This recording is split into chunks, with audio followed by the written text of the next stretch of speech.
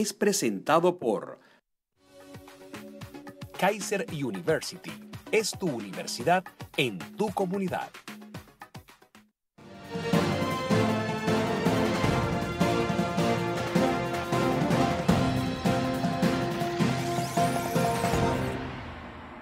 Estamos de regreso y continuamos con más información en Noticias El Venezolano TV. Nicolás Maduro ha desafiado a Estados Unidos, específicamente premiando a quienes han sido señalados por narcotráfico. Haciendo caso omiso al prontuario que han presentado fiscales estadounidenses en las cortes de ese país, el presidente Nicolás Maduro nombró al mayor general Néstor Reverol Torres como nuevo ministro del Interior y Justicia venezolano. Expresarle toda mi solidaridad a él, a su familia, que ha sido agredida por el imperio norteamericano. He designado al mayor general Néstor Reverol Torres, nuevo ministro de Interior, Justicia y Paz. Como ministro del Interior rompió récord de captura narcotraficantes mundiales y eso es lo que le quieren hacer pagar la DEA y todas las mafias del narcotráfico estadounidense. En entrevista con La Voz de América, el exfuncionario de las Fuerzas Armadas y analista político Pedro Pedrosa aseguró que este nombramiento es otra evidencia de lo que él considera es el gobierno venezolano. Una manera de protegerlo es una forma de desafiar a los Estados Unidos es sobre todo una forma no racional de actuar. Al gobierno de Venezuela no le interesa estar bien ni con la comunidad internacional ni con los Estados Unidos. El presidente del Parlamento, Henry Ramos, prefirió abstenerse de opinar sobre la designación del ministro acusado de narcotráfico, al tiempo que repudió las acciones que emprende el Ejecutivo para desconocer al Parlamento.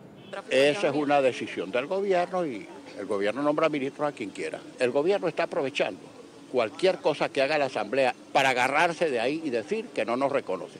A pesar del respaldo de Nicolás Maduro en Venezuela, en Estados Unidos, el general en cuestión enfrenta procesos judiciales por presuntamente recibir pagos de narcotraficantes y ayudar a ingresar cocaína a territorio estadounidense. Álvaro Algarra, Voz de América, Caracas.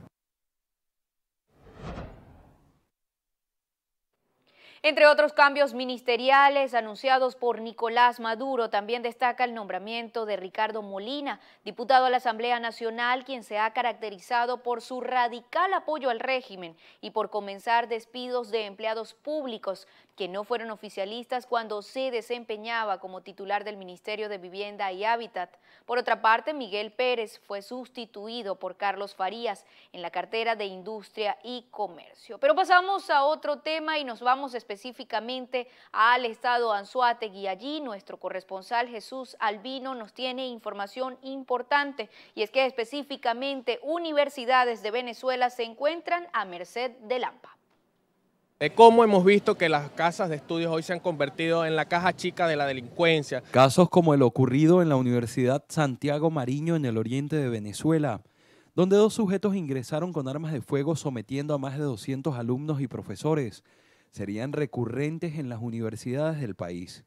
Fuimos víctimas de un robo masivo donde entraron fuertemente armados dos sujetos y entonces sometieron tanto a profesores como a alumnos. La misma situación ocurrió hace 15 días en la Escuela de Ingeniería Química de esta universidad, que cuenta con una población de 3.000 alumnos por turno.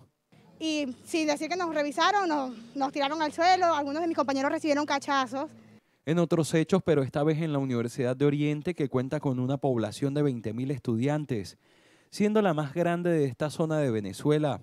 Los estudiantes denuncian al menos 10 robos al día. Esto demostraría cómo las universidades de Venezuela se han convertido en blanco predilecto de grupos delictivos armados. Estudiantes de las universidades públicas y privadas en Venezuela solicitan a las autoridades policiales mayor atención y resguardo a las casas de educación universitaria debido a que constantemente se registran robos tanto a estudiantes como a las instalaciones en las diferentes universidades del país. Desde el estado Anzuategui para el venezolano TV, Jesús Albino. Pasamos a la capital de Venezuela porque trabajadores de la Alcaldía Metropolitana de Caracas protestaron este miércoles a las afueras de la sede de la Contraloría General de la República. Exigen a esta instancia que exhorte tanto a las alcaldías de los municipios Libertador, Baruta, Chacao y Sucre, como a la gobernación del estado Miranda, a cancelar el situado que le corresponde a este despacho. Adolfo Padrón, concejal metropolitano y presidente de la Comisión de Finanzas del Cabildo Metropolitano, explicó que la deuda asciende a 2.252 millones de bolívares, cifra acumulada desde 2009 hasta junio de este año. Asimismo, resaltó que 83% del pasivo recae en la alcaldía del municipio Libertador de Caracas, es decir, más de 1.500 millones. Hemos considerado el poder legislativo del Cabildo Metropolitano que prácticamente lo que nos quedan son dos meses a la Contraloría, a la Alcaldía y al Cabildo para seguir funcionando. Está colapsando el servicio hacia los caraqueños. En consecuencia, venimos a este órgano de alzada para que el ciudadano Contralor, repito, apelando a su carácter moral que le atribuye la Constitución Bolivariana de Venezuela y más aún de control fiscal, honre y haga honrar las deudas del área metropolitana de Caracas donde no hay más excusa que simplemente cancelar. Trabajadores indicaron que han entregado más de 120 oficios desde enero hasta julio a las diferentes instancias locales. Sin embargo, no han recibido respuesta, por lo que pidieron la actuación fiscal de la Contraloría. En dos fases. Primero, que certifique que estas cifras se corresponden a la verdad. Y segundo, que traslade actuaciones fiscales a los municipios y particularmente a Libertador. Y allí van a cotejar de que el dinero está allí. Y si no estuviera allí, está implicado en un acto de complicidad de desviación de los recursos públicos que no tenía que haberse hecho más que no fuera de darle el dinero a la alcaldía metropolitana que corresponde. De manera tal que pudiéramos estar en presencia de un delito cometido por las autoridades municipales. Yo lo exhorto a que pida las nóminas de la alcaldía metropolitana, donde se nos adeuda a los trabajadores de esa alcaldía juguetes, útiles, becas.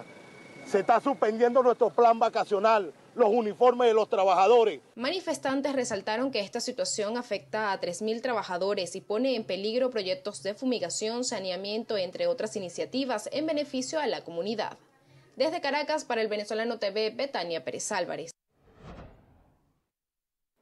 La Fundación del Grande Liga Zuliano Carlos González donó 500 mil dólares en equipos e insumos médicos a hospitales y ambulatorios del municipio Guajira, ubicado en el norte del estado Zulia, al occidente de Venezuela. Allí específicamente han muerto un centenar de niños por desnutrición. Los pobladores de Sinamaica, pertenecientes en su gran mayoría a la etnia guayú, recibieron la donación que hizo el Grande Liga Carlos González a través de su fundación, luego de que ésta inspeccionara los centros de salud de la zona para colaborar en sus necesidades.